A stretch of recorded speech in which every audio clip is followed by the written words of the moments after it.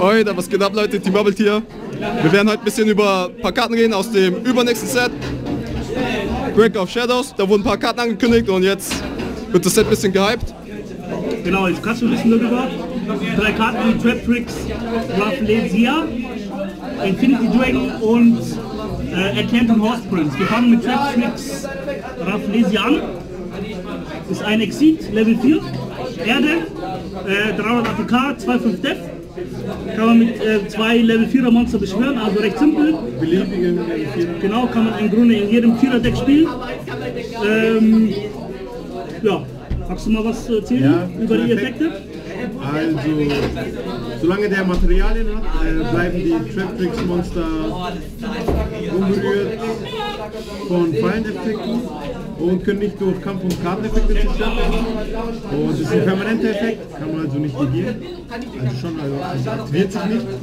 Ähm, dann haben wir noch, können nicht gezielt werden durch Trap Tricks Monster, das ist auch ein permanenter Effekt.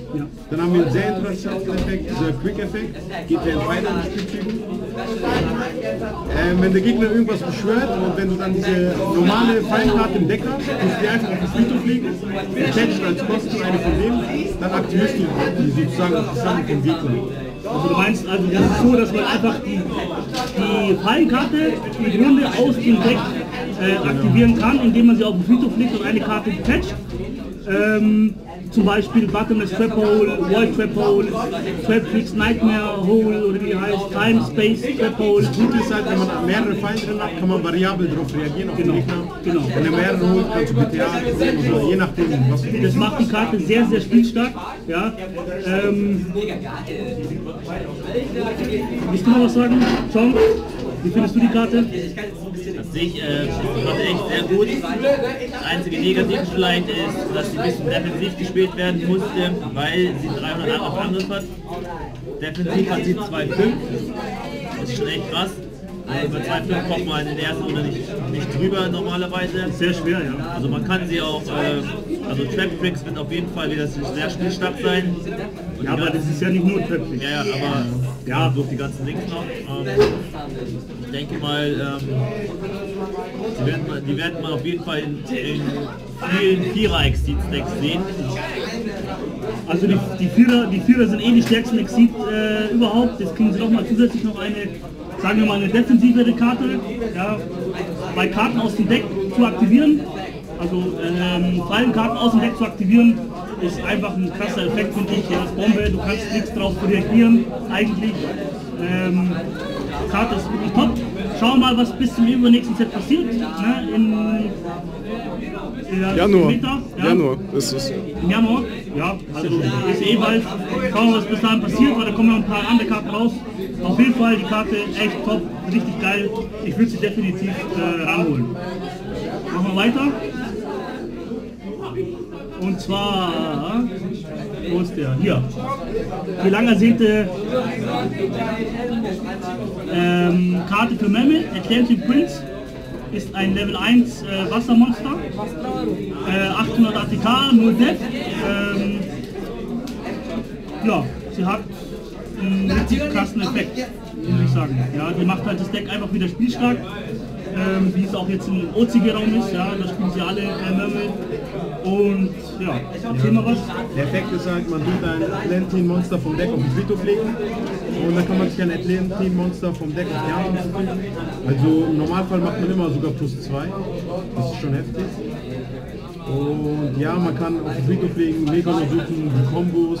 Also die Karte bringt auf jeden Fall Mermaid wieder ins Meta. Das ist auf jeden Fall sicher. Also ich, ich, kenne mich mit Mermaid nicht so gut aus, aber man weiß ja, dass man zum Beispiel alle, alle Monster, die, die man durch einen Monster- oder Wassereffekt oder wie das heißt, ähm, in den Friedhof legt, werden aktiviert und die aktivieren sich halt, sprich die machen dadurch immer ein Plus. Mit dieser Karte äh, generiert man mit ihrem eigenen Effekt eine Karte plus noch Karte, die in den Grave gelegt wird. Ja, also me mega, mega gut. Ja, die Karte, muss man ehrlich sagen. Was sagst du? Man sagt einfach nur, was hat sich Konami dabei gedacht, diese Karte bei uns rauszubringen? Ähm, Im Normalfall ähm, immer OTK mit zwei Kom- Kartenkombos. Es gibt natürlich so eine Liste, wie man die Kombos überhaupt macht. Steht alles im Internet, könnt ihr euch alles anschauen. Ähm, ansonsten eine echt krasse Karte. Immer OTK eigentlich, also ihr kommt immer über 8-3 immer. Also ich glaube mit 8-3 kommt ihr immer drüber. Das ist echt eine krasse Karte. Das habe ich nur kurz noch, äh, Ding, weiß nicht, äh, Deep Sea Diva kann auch diese Karte holen, ja? Kann er. Ja, das ist mega. Wie war es auf 1 bei dir? Ich glaube auf 1, ja, aber in, aber in OCG-Raum nicht auf 1, oder? Oder? Also jetzt schon. Auf jeden Fall mega, mega geil mit Diva. Ist ja nur Plus äh, generiert eigentlich. Ähm, auch so. Bringt dein Deck wieder ins Meter. Ich, glaub, ich denke mal, ich denke mal, wenn sich jetzt, in, jetzt im, im, Meter nicht viel verändert, kann Mörme wiederkommen mit dieser Karte, mit diesem Set. Ja, kann wieder äh, auf Meter mitma mitmachen.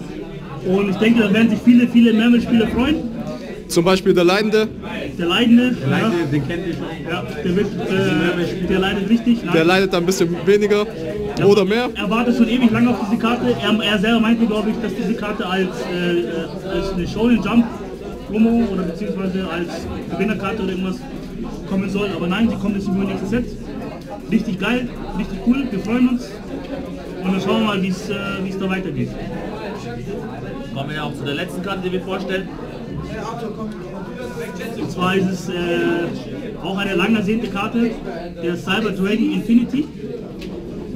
Jetzt reden wir aber noch kurz über die Nova, weil er ist eigentlich die Karte, äh, die eigentlich den Spiel stärker macht, weil man ihn einfach drauf legt.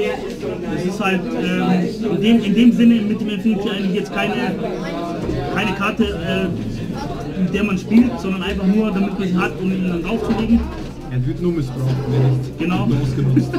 wird nur ausgenutzt. Also ihn, ihn zu holen bräuchte man äh, zwei Level 5 Maschine. Ja, das ist eigentlich der einfachste Weg. Oder mit, äh, man, man geht den Weg um durch, äh, wie heißt er, mit, mit, mit Ptolemaeus, der Vierer.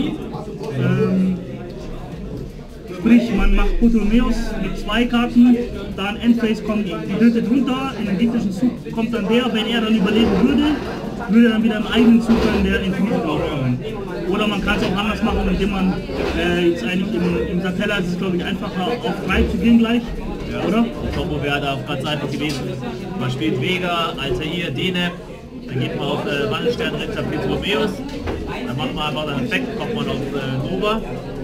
Von Nova aus kommt man einfach ganz leicht auf Infinity. Genau, das wäre halt dann der, der schnellste Weg eigentlich. Das ist der schnellste Zug. ja. Weil die Sache ist ja die, ich meine, es ist halt die Frage, ob dann ein, ein Nova eine Runde überlebt, dass man dann wieder im eigenen Zug dann einen Infinity drauflegt.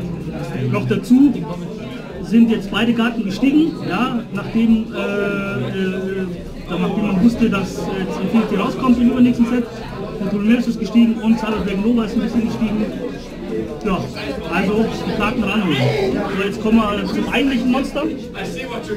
Er ist ein Level 6 ähm, Exit, hat 2-1 äh, Angriff, 1-6 Step.